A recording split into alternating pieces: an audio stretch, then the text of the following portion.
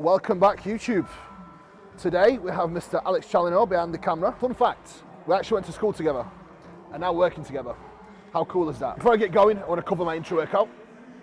25 grams of MPS Max watermelon. It's insane. I'm going to put it in fridge, even better cold. And at the moment, I'm only doing 25 grams of sustain as I'm still a few weeks post show, so my calories are not that high. Uh, generally, I start driving this up. Once I start getting above around six to 700 grams of carbs, again, I've got a good appetite. That's just, you know, keeping that clean. But anyway, that, I'll touch on that another time. Once I start getting above 600, 700 grams of carbs, that is when I start driving this up heavily. And I will push this to around 120 grams at my peak, um, potentially even 150. Um, generally, when we intra workout, my intra, intra workout carbs, I start sipping as I start training or even just before. And I always aim to finish it right for about three quarters through my session. Um, that way, I'm always ready for my post-workout meal, regardless of how big this actually is. Uh, so I'm giving kind of a little bit of time and a bit of window there, just drinking water after I've actually had this. And again, another tip guys, if you are using an intra workout, make sure you actually add adequate water intake to your intra, otherwise it may actually cause some digestive issues. So, without further ado, let's go. Business with glasses coming off and uh, phone gets put away. I'm just gonna have to check on Meg, as Meg's still uh, not well. I still can't get over how good this actually tastes. Pina colada, sustain is incredible. Now, logbook, the most useful tool to track progression if you are keeping your repetitions standardized. Now, this can be your biggest friend or your biggest enemy depending on how you use it. So you have to be wary of making sure that the only reps that you log in here are the reps that have been standardized with your execution and tempo.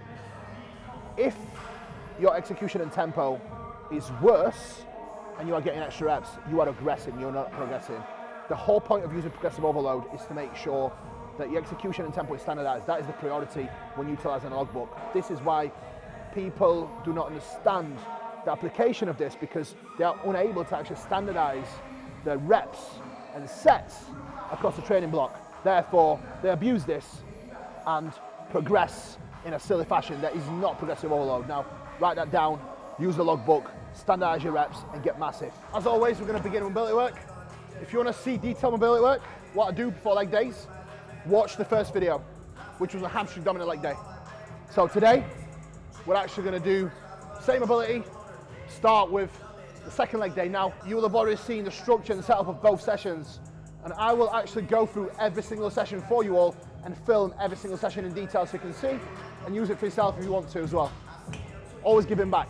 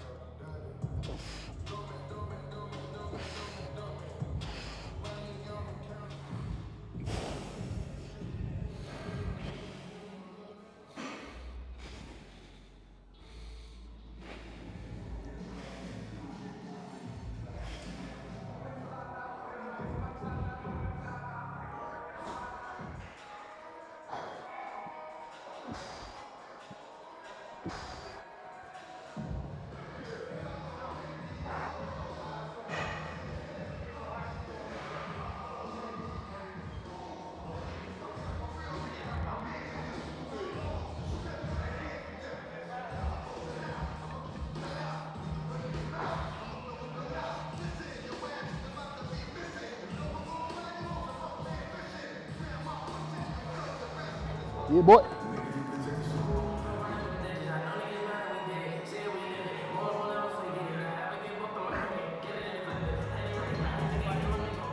So an adductor, I do tend to work in high rep ranges. So my prehab work that I do pretty much prepares me for this because I go quite deep with split squat. So it does prepare my adductor for the work ahead of us. So generally we're jumping adductor.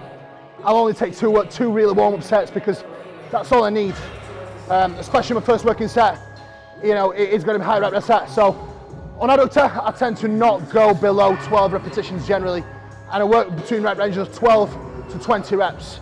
Um, that's definitely something that I've found really works best with adductor, and again, load exposure is less that way, less likely of getting injured, as it is quite a sensitive area um, that can just twinge very easily if you go too heavy, even when your accuracy is, you know, perfect. So what you'll notice here, guys, is I am pausing actively before the stoppers actually touch.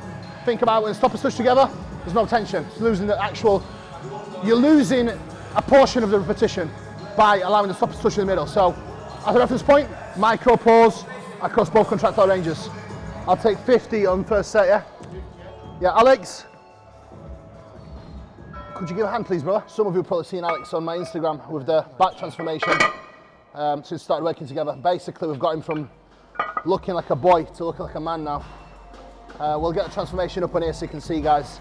This is behind, so you can see the face behind the behind. Two, one. Up, up, up, up, up, up.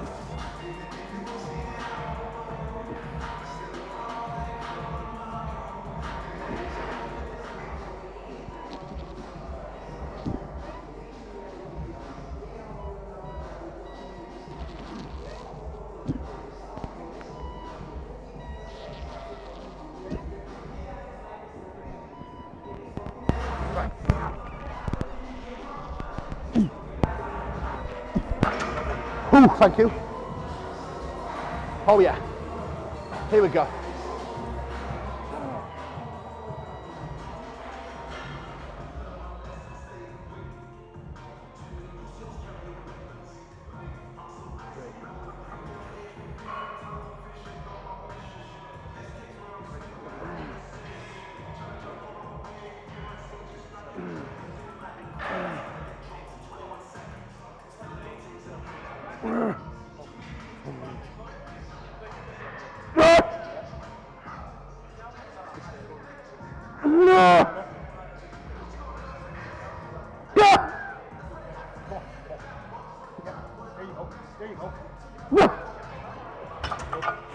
The man that requires no introduction, Mr. Jay from R&R.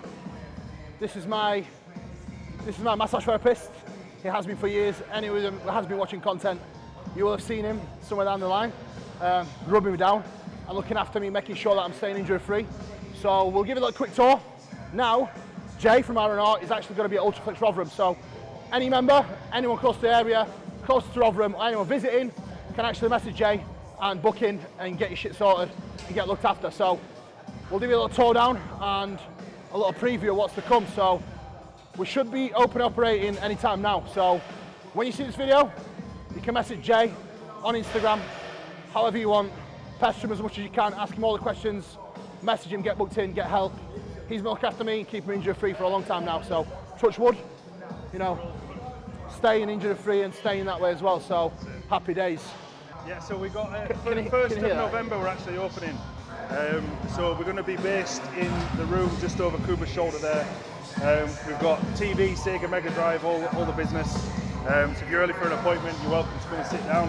Um, but there's going to be, I'm going to be based there sometimes, but the main guy that's going to be there is called Louis. Um, and you'll find him, he trains at Ultraflex Rotherham as well. He's a good lad. actually one of He's a good Kuba's lad. clients. Yeah. Um, and he's really interested in, helping people out. Um, he's very meticulous in what he does, and I have complete faith in what he's what he's able to do. He's in there decorating now, so you might catch a glimpse of him at some point. So this is the room. Um, we're actually decorating. This is Louis, as I was mentioning before. Louis is actually going to be based um, here full time, working with you guys. You can book directly into Louis' diary. Um, but yeah, this is the TV and the tools. Um, we're going to have some sofas and stuff in here just to chill out. And then this is the room itself. So we've got a big space. At the minute, it's just sports massage that we're offering, both male and female here. Um, but we will be adapting as um, as Louis gets busier and busier, adding things like shockwave and, and all that good stuff. So yeah, make sure you check us out. Book us in rnrbodytherapy.co.uk. Lying hamstring curl. We are specifically starting with the prime lying ham curl in setting four, set number one. So this is our only opportunity to get the hamstring challenged in fully shortened range. Now, if you was to do that later in the session, you just wouldn't have the energy to do so. So this is the only and ideal time to actually challenge the hamstring in the shortened range. Now, if you don't have an option like this, majority of standing hamstring curls actually have that resistance profile. So my second option, if I did not have the prime lying leg curl, would be a standing hamstring curl, which we do have here. Now, that is another option for me in other sessions sometimes as alternate movements. So generally, when you are training legs, I would always, always advise to start your movements with something that will overload the hamstring in shortened range, generally, and then you will finish off with something that overloads them in lengthened range, which is a stretch, such as a seated leg curl. So, exercise sequence is extremely important. You have to challenge muscles across all their ranges to get the most out of them.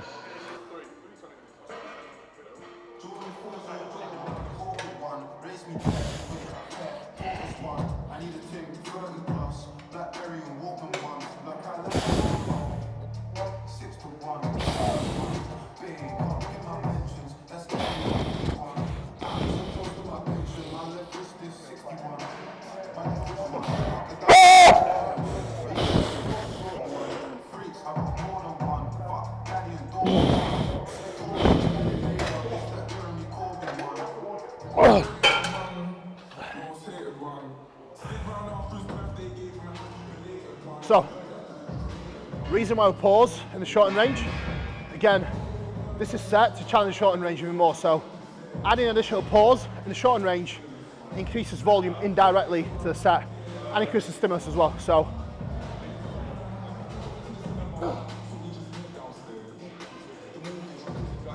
strict with that pause. Last rep on it, maybe a partial. Yep.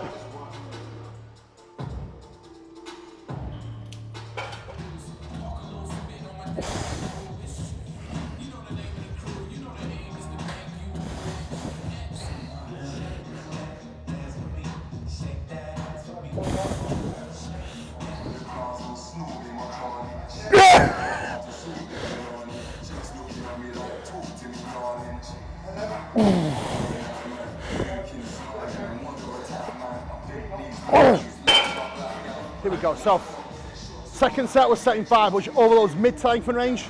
And now we're going to set in setting three, which overloads lengthened range. So, this way, we really, really are going to smoke our hamstrings totally and completely because slowly we change the resistance profile to favour where the hamstrings is actually strongest, which is lengthened range. So, by the time we get to the third set on setting three, which predominantly overloads lengthened range, as you lift, the tension actually drops off. So it's almost like getting assisted reps. So I tend to stick with the same load across the three sets.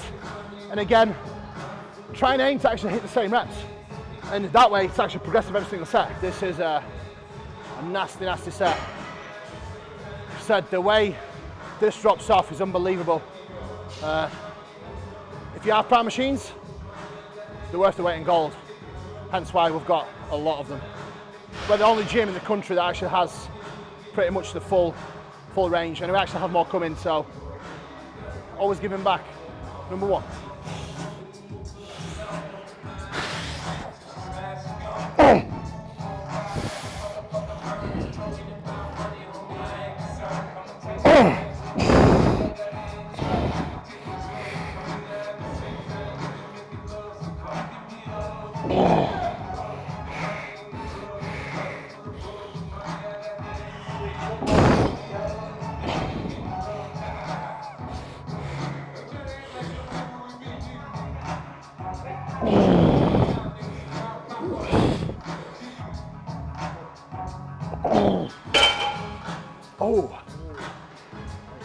horrendous.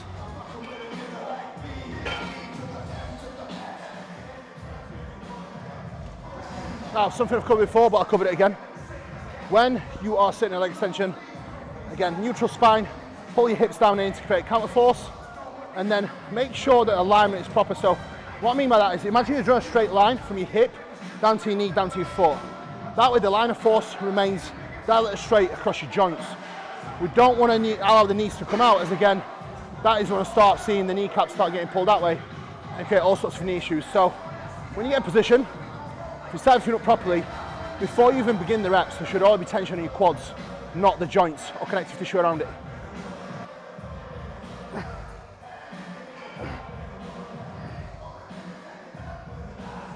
This is our chance, the only chance this session to overload our quad in the shortened range.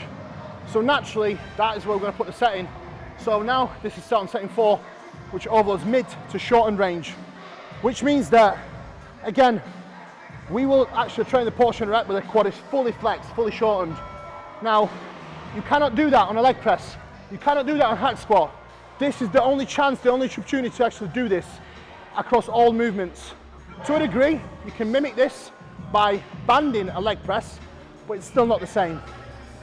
Uh, still not quite the same as actually fully extending at the knee and fully shortening your quad. So when you are looking to maximize your quad training, again, same principle applies. Train your muscles across its full contractile ranges. So shortened and lengthened, and obviously mid, but that will come as byproduct of all the other movements. The most abused and misused machines in the gym. I see girls doing the same weight as me with no quad development. Momentum kills gains, guys. It's not about what you lift, it's how you do it.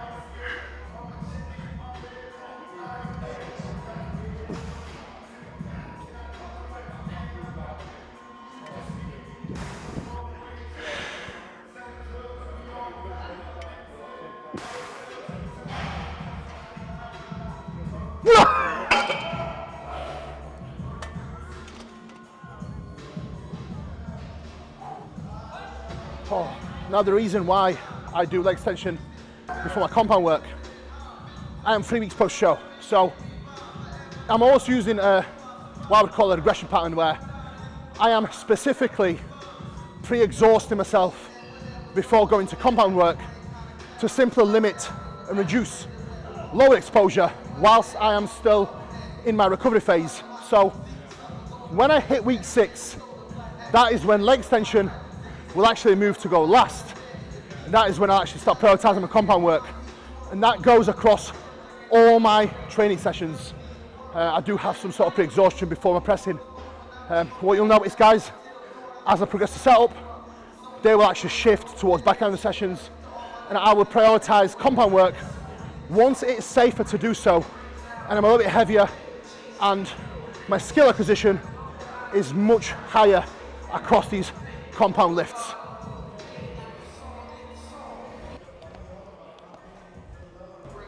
Now, one way to bulletproof your knees is challenging your muscles in full length range, during the stretch.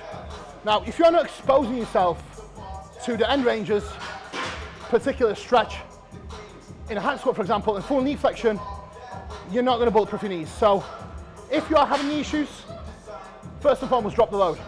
Secondly, go as deep as your face safely can and aim to get full knee flexion, which means your knee travels forward across your toes without it actually traveling back.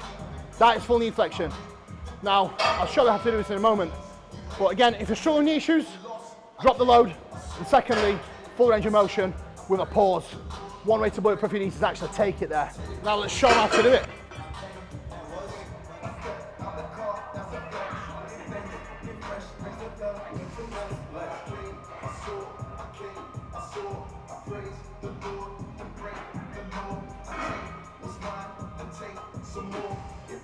What you notice guys, my top working set looks exactly the same as my warm-up sets.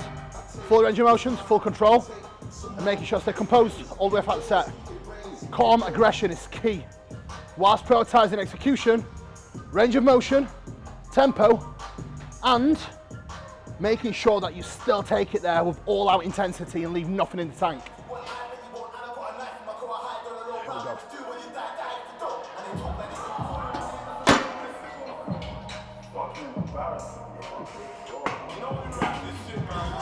I like to call calm before the storm. You cannot go into a set with any degree of intensity without focus. Personally for me, focus and aggression go hand in hand. You cannot just be one without the other. Both have to work together in order to get the most out of a set. So you have to learn how to actually channel both. Stay fully focused whilst giving your absolute all-out aggression into that set. Again, if your goal is to take your set all the way, you need the focus and you need the aggression. Go for 100%, no less. I'm going to touch this now, and then I might touch three and a five, or I might touch this now. Feels good. I'm gonna put a five on and work. Tune. Yo, Alex, put this tune off and working set. Skip it back and play it in five minutes, yeah?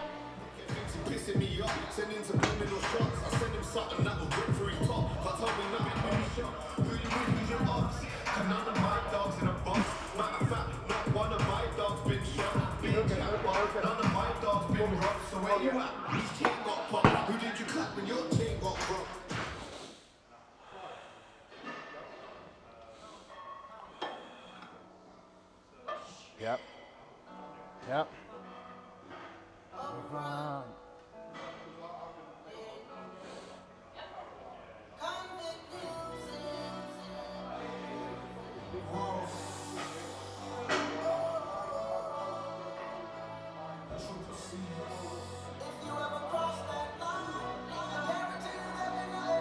Right. Set up. Posture. Breathing. Racing. We get after it. Perfect fucking set. Perfect fucking set. No numbers. Perfect fucking set.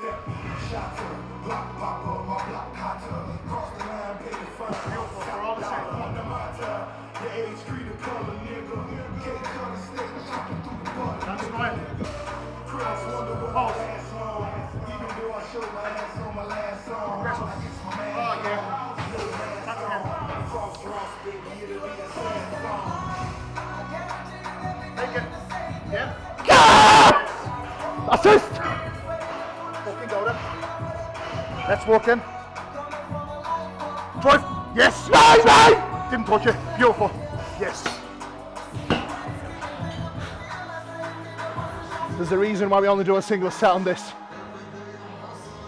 Now, I'm not saying I'm the best trainer in the world, but I train semi-accurately and I pour my fucking soul into these sets.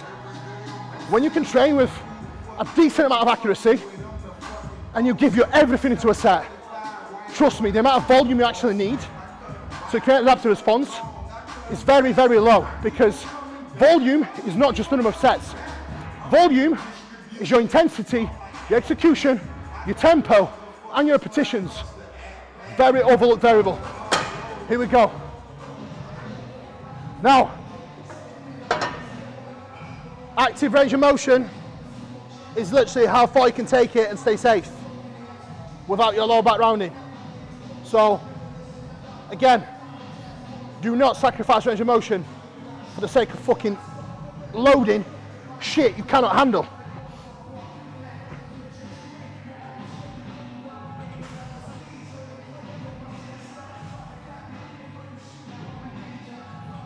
Yep. That's how we do, ladies and gents.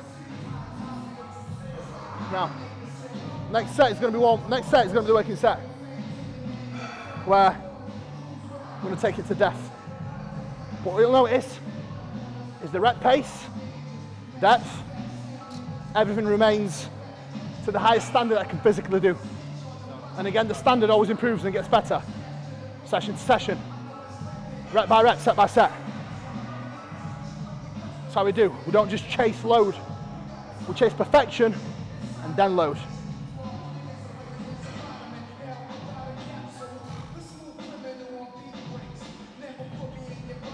Get this in, in.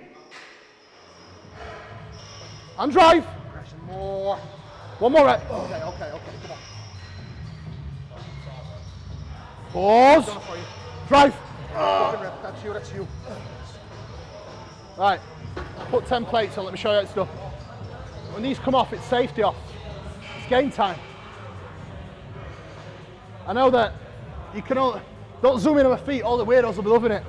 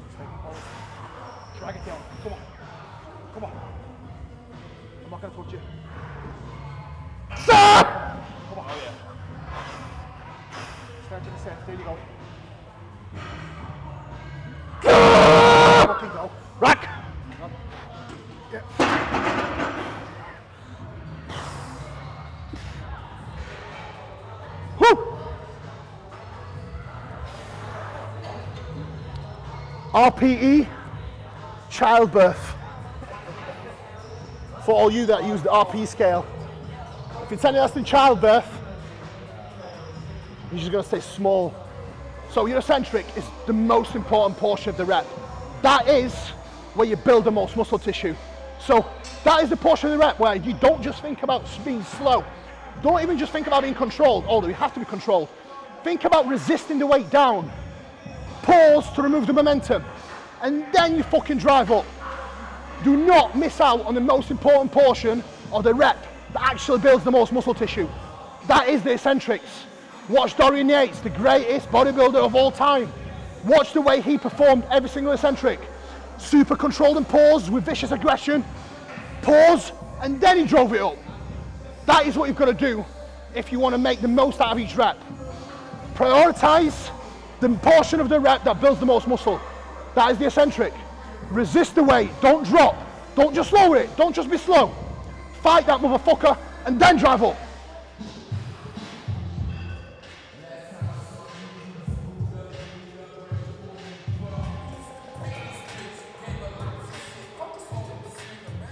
Right.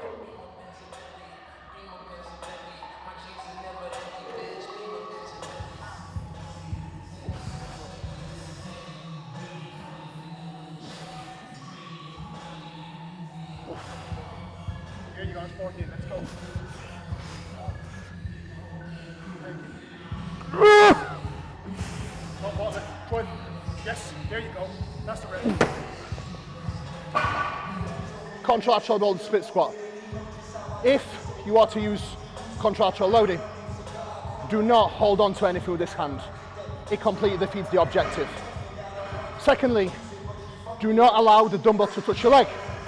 Again, defeats the object. The whole point is to have the dumbbell float in front of you. And that is what's truly going to challenge extra stability to force your glute med to actually do more work. So get your position, posture, brace, pelvis tucked, body weight cued, and lean into the working leg. Let the dumbbell fall out in front of you, and then descend. Pause in the hole, then drive back up. When you are training unilaterally, always treat your sets as a separate set. You wouldn't do two sets of leg press one after another. The same principle applies when you are working unilaterally, unless it's like side lateral, then it's a bit different. But if you're doing any, any bigger movement and you're working unilaterally, treat it as a separate set in order to get the same performance out the other side.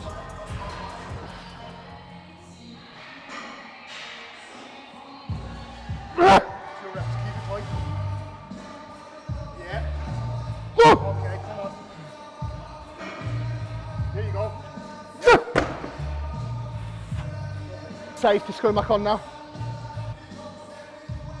That's it. Key now, I'm safe now. That's it now, here.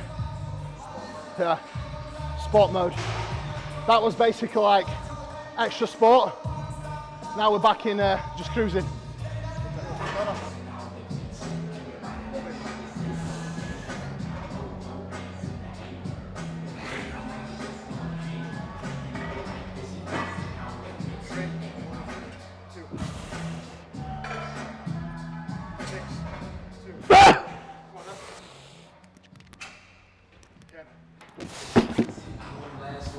Session is a soul destroyer.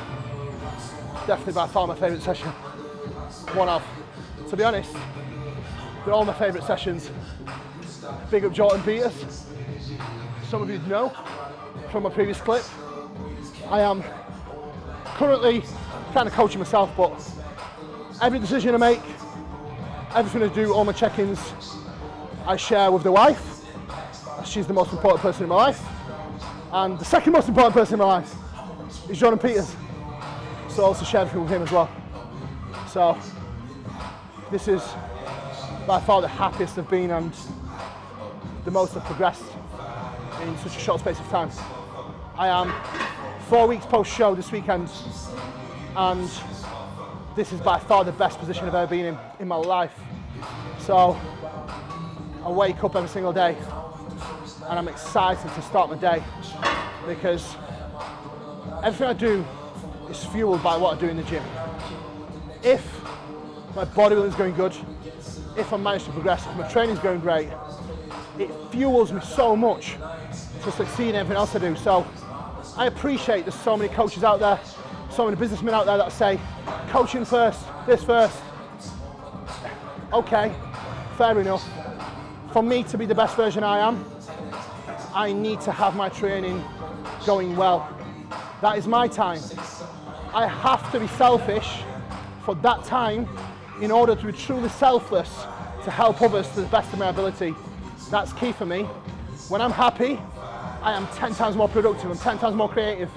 I'm so much more switched on for my clients and my other work and my businesses. So, word of advice, guys, you want to be good at coaching, you want to be good at anything you do, you need to stay happy and sometimes you need to prioritize yourself. Food for thought.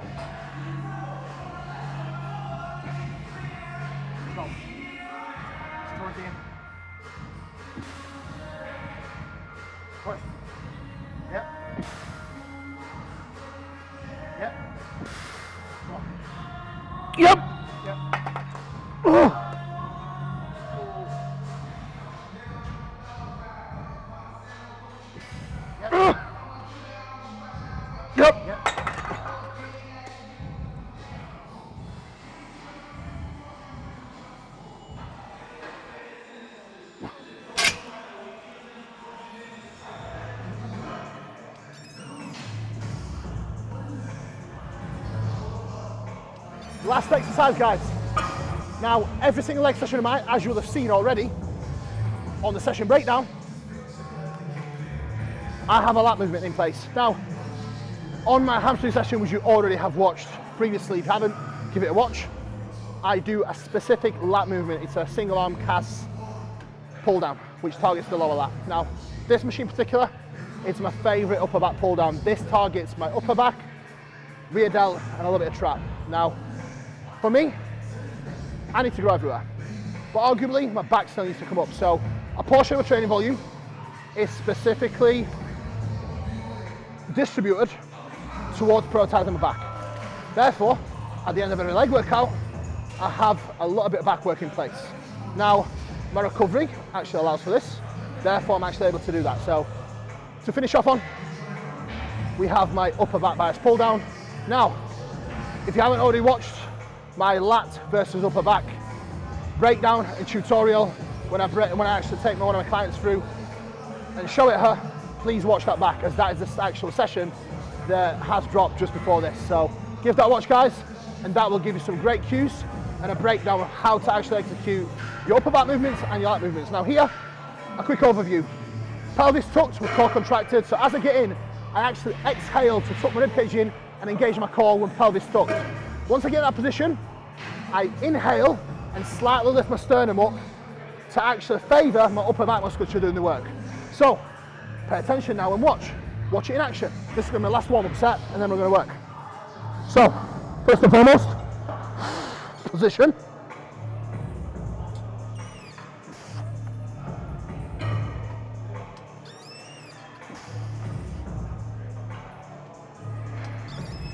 Position, bracing, breathing, alignment, and then once I'm actually in the set, I make sure I actually specifically pause in the stretch here for one to two seconds, as this machine is actually set to overload lengthened range, which is a stretch when I'm the strongest, and then it drops off as I get in the shortened position. However, once I get in the shortened position, I still take a micro pause in that range.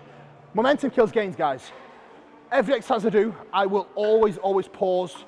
Whether it's a longer pause to actually increase volume directly, or to shorter pause, I will always pause across all contractile ranges to take out momentum and get the most out of each rep.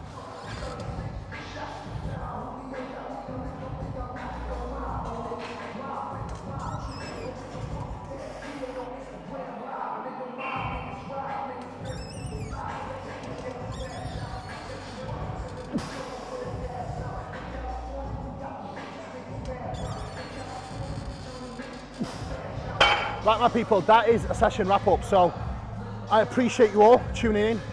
As always, like, share, subscribe if you enjoy the content, and much more to come. We are going to break it down session by session for you all. Uh, all my sessions and Meg sessions as well. So there's going to be a lot of content coming your way. For now, guys, thanks for tuning in. Take care. I'll see you all again soon.